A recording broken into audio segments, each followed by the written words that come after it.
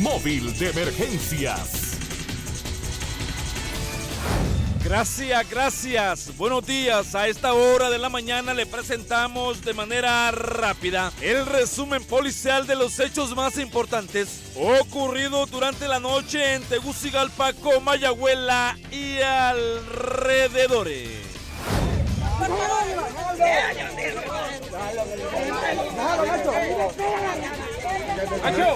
Un hombre perdió la vida violentamente anoche en el barrio abajo de Guaymaca, Francisco Morazán. El fallecido fue identificado como Juan de la Cruz Sierra Moncada. Según el reporte policial, sospechosos lo interceptaron y lo atacaron a disparos por motivos que aún se desconocen. El hecho ocurrió frente a los juzgados del término municipal antes mencionado en unas canchitas de fútbol. Luego del mortal ataque, familiares y vecinos de la zona llegaron a la escena, quienes confirmaron el crimen. Por su parte, agentes policiales resguardaban el área mientras se realizaban las coordinaciones para el trabajo de levantamiento legal con las autoridades competentes. De milagro se salvaron los ocupantes de dos vehículos anoche al impactar a la altura del Tizatillo por la carretera salida al sur de Tegucigalpa. Uno de los carros accidentados quedó literalmente con las llantas hacia arriba en medio de la vía, mientras que el otro se salió de la carretera. En el carro doble cabina volcado viajaba una pareja y su conductor lamentó que el otro participante le haya quitado todo el derecho a vía. Sí, no, gracias a Dios, pues los materiales, usted sabe que no hubieron pérdida humana. No, yo venía para arriba, hermano, tranquilo, venía despacio. Cuando el carro, el carro va para abajo y este, cuando viene por acá lo veo que se viene saliendo. Entonces yo me lo quiero quitar a la maniobra de, de hacerme más para allá, pero me voy a impactar a la mera llanta. Si ustedes fijan, el, el diferencial del carro tapando. Entonces me hizo dar vueltas, desde allá me dando como unas cinco vueltas creo que di, de quedar aquí como estamos. Se informó que en el vehículo tipo turismo el ocupante viajaba solo, mismo que al perder el control del volante se llevó a su paso un puesto de frutas y verduras, además de provocar daños al impactar a una pulpería. Luego del informe a través del 911, se desplazó varios equipos de la Cruz Roja hondureña para asistir a los afectados.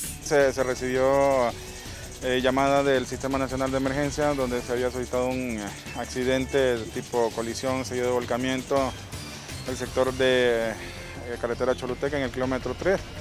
Pues la primera información era que había una persona atrapada en el vehículo volcado. Ya pues una vez llegada al lugar del incidente se valoran a tres personas que solo sufrieron eh, golpes leves eh, y pues eh, gracias a Dios no habían personas atrapadas. Por su parte, agentes de la Dirección Nacional de Vialidad y Transporte realizaban anoche las primeras investigaciones para deducir las responsabilidades del caso. Esta madrugada en el triaje del Centro Cívico Gubernamental se reportó la muerte de un hombre a causa de supuesto COVID-19, según lo informaron las autoridades. El fallecido de 79 años habría muerto a causa de un paro cardiorrespiratorio producto del mortal virus. Luego de reportado el deceso, personal de Sinajer llegó al lugar para el cumplimiento de los procedimientos ya establecidos con la víctima.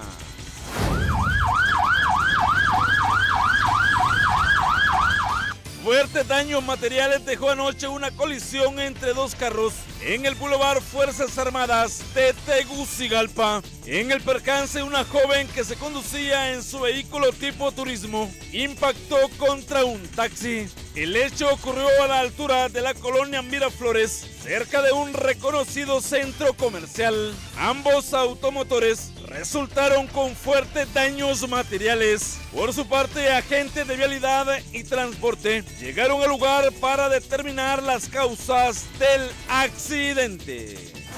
La sorpresiva caída de un poste del tendido eléctrico anoche tenía a oscuras varios sectores en Comayagüela. El hecho ocurrió en la calle principal del barrio Las Ayestas, donde había preocupación por parte de los vecinos. El poste se cayó, así sencillamente se cayó y, y regó todas las, eh, al caer aquí, mira un chispero que se regó y pues los vecinos, gracias, ella fue la que miró, estaba sentada ahí donde está, cuando cayó el chimbo y fue un chisperío, pero exagerado. Y mire, aquel cerro allá está oscura, toda la 3 de mayo, que es grandísima. Como ya pusieron las Mercedes también, nos quitaron la luz ya a las Mercedes. Ya nos, eh, y próximamente si se cae ese poste que está, eh, está canteadito, sí, otro poste es el que está ahí en la esquina, si se cae ese, va, va a tocar los otros que, están, que han quedado. Porque solo una parte se ha caído, no todo. Pero lamentablemente, si no ponen mano rápida aquí, vamos a estar sin luz. Se informó que al desplomarse el poste con varios transformadores, la maraña de cables comenzó a lanzar chispazos de energía. Durante la noche, el personal de la estatal eléctrica laboraba en la zona para restablecer el servicio energético. Con las imágenes de Carlos Soriano y el apoyo de Francisco Javier Quirós, y en nombre de todo un equipo en turno, para HCH les informó Carlos Raudales Maradiaga. Buenos días. Móvil de emergencias.